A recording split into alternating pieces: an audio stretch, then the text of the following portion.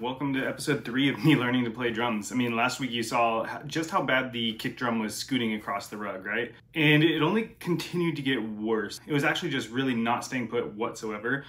I did order another rug from Amazon while I was waiting. Uh, that has arrived and I'm about to unbox that and go ahead and do a quick time lapse of me putting it all back together again.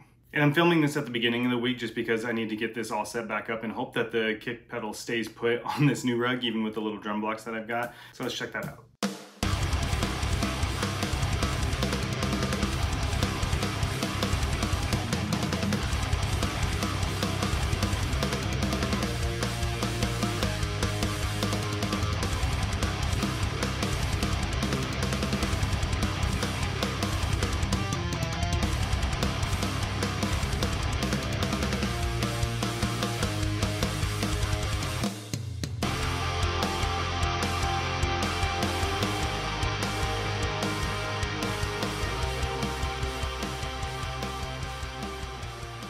All right, so we're on what, episode three or episode four of me learning to play drums. And for those of you that haven't been following along, I am a metal guitar player learning to play drums for the first time in like 15 years. The last time I started trying to learn to play drums was when I lived in a house. I could have a real drum set. Haven't been able to do that in a really, really long time.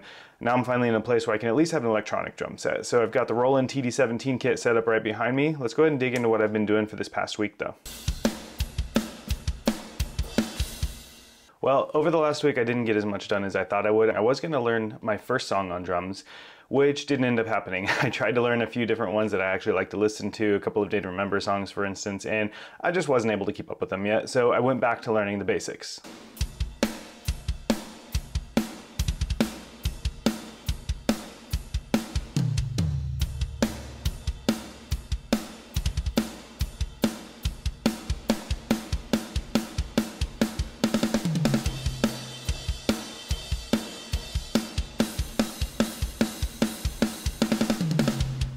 The key is though that I put in a lot of time practicing drums this week. I'm gonna pose this to all of you. What is a song that I should learn first? I learned some ACDC stuff. I don't care to play that on camera. I'm not going to.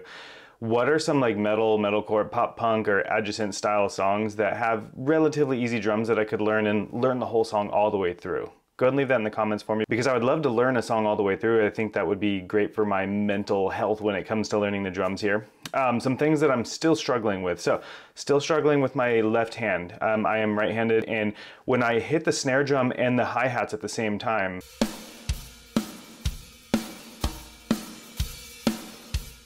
I tend to either one, bash my uh, right hand knuckles with the stick as I'm coming back up, or not hit the snare drum hard enough as I'm coming down at the same time with both drumsticks. So one on the hi-hat and then my left hand on the snare. I'm not hitting the snare hard enough and I don't really know how to fix that. I haven't found a ton of videos on how to fix that for instance either. So what are some tips that y'all might have to help me get past that? This coming week I'm going to be working on my doubles on the kick.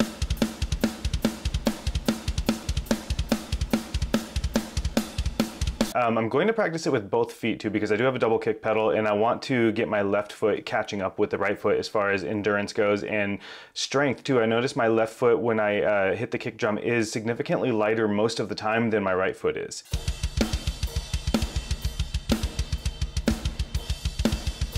So I'm trying to figure that out as well, watching some videos here and there on that, and I haven't found a ton that's helped me to be honest with you. So if you've got any suggestions there, please let me know. And I'm gonna start working on some of the different rudiments like paradiddles for instance. Always fun to say that word for whatever reason, but I really do need to lay into that and rolls on the snare drum and toms obviously for that matter as well. And then I did get some feedback from people last week about loosening up and I look back at the video and yes, I am definitely sitting up straight and everything, but I am trying to work on my posture. So that's one of the reasons why I do that is because I need to work on my posture. I'm always hunching over. I'm a guitar player, right? So I'm always hunching over. I'm trying to stop myself from doing that. I'm gonna work on loosening up a little bit more and having a little bit more fun while I'm playing drums because I looked back at the video from last week and noticed, yeah, I am very robotic looking. I'm just hitting the drums and just going through the motions. Uh, that being said, I also need to work on my wrist movement as well. I do notice that my wrist, I'm actually swinging my whole arm on a lot of the different patterns that I'm playing instead of working on the wrist movement, which a lot of people have thankfully left as feedback to me inside of the comments on different videos that I posted. This is what I've worked on this week. This is what I'm going to work on this coming week. I am also going to start trying to incorporate fills in my playing a little bit more properly. I'm kind of terrible at timing when it comes to putting fills into a drum beat, which is funny because I'm great at programming them in with MIDI, but I'm not great at putting them into practice with real drums. I really want to work on that this week because fills are probably the most interesting thing about drums for me. I love keeping a beat, obviously, but fills are what keep it interesting for me. So any other suggestions y'all might have, please leave in the comments for me. I greatly appreciate those of you that have commented. It helps a ton along this journey of me learning to play drums. Till next time, I'll see y'all soon.